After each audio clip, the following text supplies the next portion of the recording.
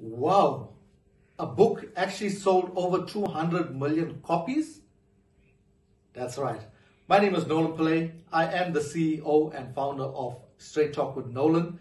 And recently, I've partnered with an organization called the Napoleon Hill Foundation. And if you don't know them by now, you should get to know them. They started off the book Think and Grow Rich, and that's the book that sold over 200 million copies.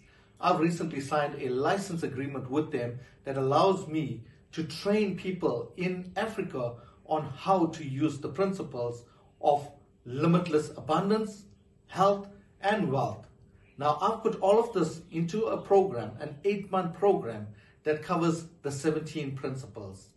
You have two choices. You can become a student, no age limit, or you can become a sponsor and sponsor the youth in South Africa or Africa on this program as well. So I look forward to sharing with you what each principle entails in the next videos to follow. So if you want to know more in advance, click on the link below and learn more about Let's Think and Grow Rich.